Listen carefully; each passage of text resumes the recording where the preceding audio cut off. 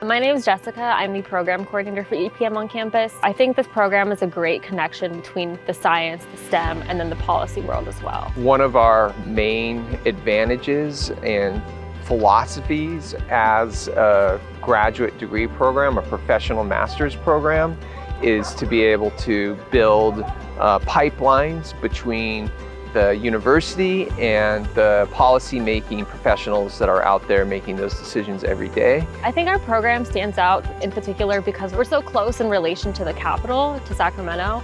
So we do have a lot of policy networks and professionals that come and teach our guest lectures, that come to our classes. So they're a great resource for our students. I didn't think I would be connecting with so many professionals that are above my level of expertise. I'm really excited by that prospect. It feels like they're talking to me as a peer, and so I appreciate being welcomed into that higher education world, professional world. We want to train the next generation of those who are going to take the knowledge we create here at UC Davis and transfer that to real world applied policy and management issues. There's an EPM community that we try to foster and, and that happens through social events, through professional events like networking um, and workshops. We also try to encourage new students to connect with alumni. So the network building is so crucial for any degree and we try to really help students facilitate that as part of our program. The networking, I find it to be very easy and, and also very diverse.